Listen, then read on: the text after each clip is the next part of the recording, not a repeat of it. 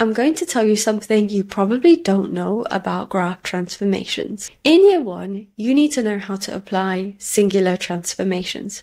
However, in year two, you need to know how to work with a series. Now, when you're working with more than one, we apply graph transformations in order of BIDMAS. However, there is one special case, and I'm going to talk you through that now. Let's look at the graph of x squared, for example. This is a U-shaped parabola and on this, we're going to apply two separate transformations. Let's look at the graph of y equals 2x squared first. So you're multiplying by 2 and it's inside the bracket, which means instead of stretching by scale factor 2, you're stretching by a scale factor of half, and your graph is going to become a lot more narrow. Let's also look at the transformation y equals x minus 4 squared.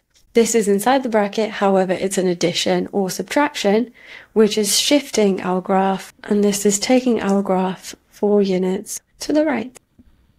Now, what happens if we combine these two transformations? Let's say now we want to sketch the graph of 2x minus 4 squared. So I said that graph transformations happen in order of BIDMAS, but this is that special case. We actually deal with the subtraction, the minus 4 first, then we squash everything by two. So your graph is going four units to the right first. Then we are multiplying everything by a half. So this point here is now two. So we actually apply graph transformations in reverse order of BIDMAS in this special case.